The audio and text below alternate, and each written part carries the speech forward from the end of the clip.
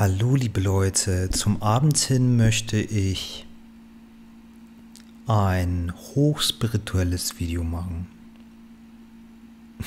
Falls es sowas gibt wie ein hochspirituelles Video. Ich habe äh, bei einer Frau, die über Non-Dualität spricht, gesehen, dass sie wahrscheinlich Botox hat und gleichzeitig sehr viel Make-up benutzt. Und ich habe sie gefragt, ohne sie direkt anzusprechen, habe ich gesagt, Frage, wie passt Make-up und eventuell plastische Eingriffe in die Non-Dualität? Und ihre Antwort war, was hat Aussehen mit Non-Dualität zu tun? Aber gleich darin hat, daraufhin hat sie geantwortet, lol, wie beschränkt bist du denn, haha. Also ein toxisches Metaframe rausgehauen. Und damit fange ich schon das allererste an, dass nur weil jemand über Non-Dualität spricht, bedeutet es nicht, dass da auch eine volle Erkenntnis ist. Und nur wenn du in der Non-Dualität weilst, fängst du an, Dinge zu erkennen, die du vorher nicht erkannt hast. Also wenn ich jetzt einfach über im Jetztsein spreche, kommen sozusagen in Neudeutsch diese Downloads nicht, sondern die Downloads kommen nur, wenn du absolut still bist in Gedanken und Sein. Also ich mache mich jetzt komplett leer, keine Anstrengung. In diesem Moment nur bewusst.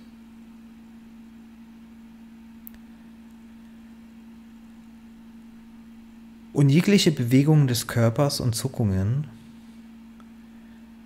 werden nicht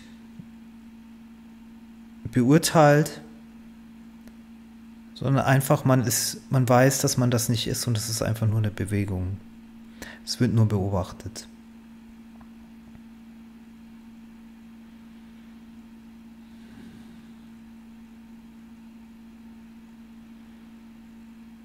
Also du fällst sozusagen in ein, in ein Nichts, wie ein Schlaf, obwohl du hellwach bist.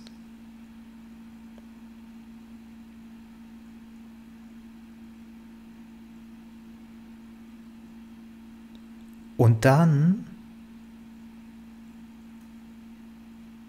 schaut das Bewusstsein auf sich selber.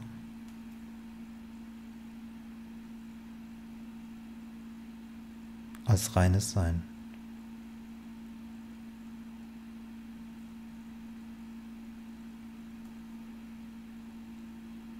Man versucht nichts zu erreichen, sondern man lässt einfach nur los.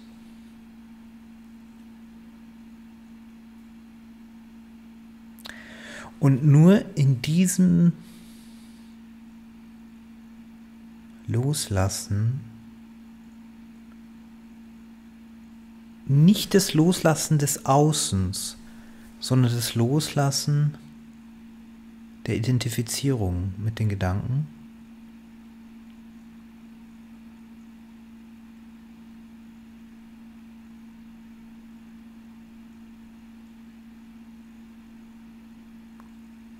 kommt alles andere von selber und vor allem die Eingebungen. Du fühlst Du wirst immer mehr wahrnehmen und vieles einfach verstehen, was andere nicht verstehen.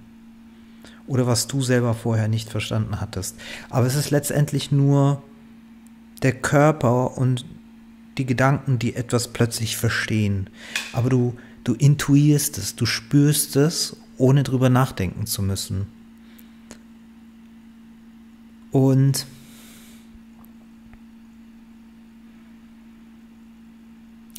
dieses Verständnis, diese Weisheit über das Erwachen selber und die Mechanik, in Anführungsstriche, was passiert, wenn man im Nichts weilt. Und auch das Nichts aushält als solches. weil es gibt eine Energie, ein psychoenergetisches Feld, das eventuell diese Stille nicht aushält. Und über dieses Nicht-Aushalten muss man hindrüber gehen.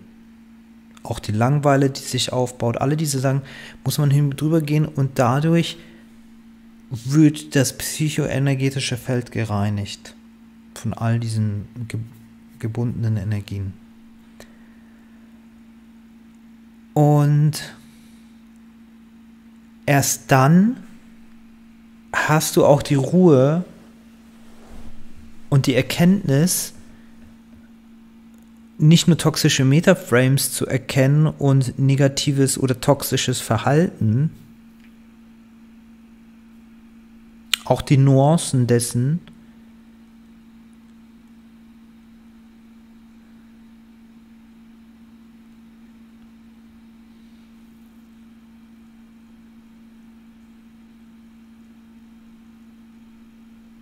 Zum Beispiel diese Frau, die über Non-Dualität spricht, also eigentlich das, die höchste Erkenntnis in der Spiritualität, die Erkenntnis des Selbst, ist, hat offensichtlich ein unterdrücktes Libido, sonst würde sie nicht toxisch metaframen. Und die Aufschlüsselung über das toxische Metaframen also die Erkenntnis, der Download, der Verständnis über das toxische Metaframe kam auch nur durch das Sitzen in der Stille. Also wäre ansonsten nicht gekommen. Weil nur aus der Stille kannst du die, nu, nu, nu, die Nuancen, die feinen Bewegungen des psychoenergetischen Körpers beobachten, ohne involviert zu sein. Das heißt, du wirst zum perfekten Kenner deiner eigenen Psychoenergetik, aber auch der der anderen und damit auch ein Kenner der Psychologie, der Energieheilung, alle diese Dinge. Das kommt dann automatisch von alleine immer mehr an die Oberfläche.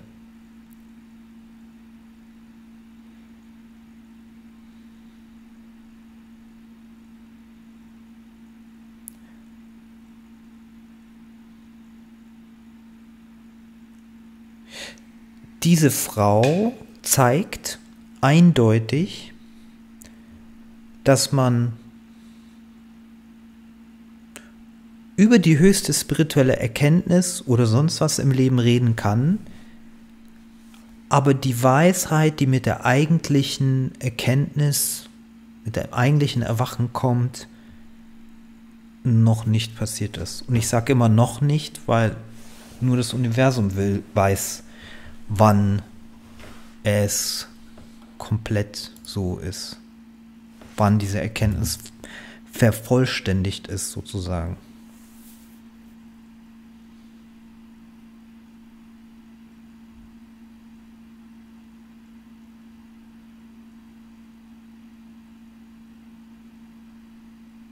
Wenn ich über das spirituelle Erwachen rede, müsste ich theoretisch auch gar nichts sagen,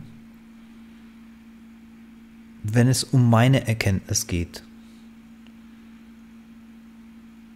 Ich bin auch immer mehr davon überzeugt, dass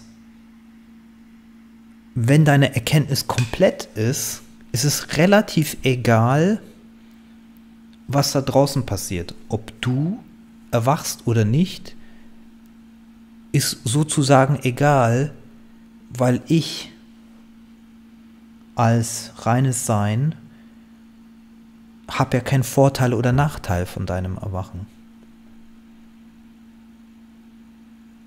Beziehungsweise anders gesagt, das Sein selber ist nicht kleiner oder größer, weil du erwachst oder nicht erwachst oder weil du was Gutes oder Schlechtes tust. Bei mir oder als reines Sein ist es gleich. Im Endeffekt gibt es auch keinen Unterschied. Wenn man richtig tief geht, dann rede ich eigentlich mit mir selber. Ich rede mit niemandem da draußen, weil es keine anderen gibt. Das heißt, im Endeffekt, als Fazit dieses Ganzen, tust du eigentlich Dinge nur und so oder solltest diese nur dann tun, wenn sie für dich eine besondere Harmonie darstellen, weil wenn du sie tust aus irgendwelchen gedanklichen Überzeugungen, ähm, verschwendest du nur Zeit.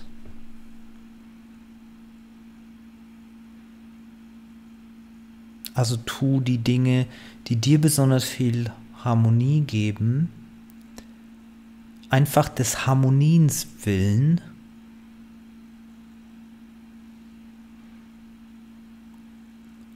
Weil alles andere spielt eh keine Rolle. Weil es sind ja nur Gedankenkonstrukte.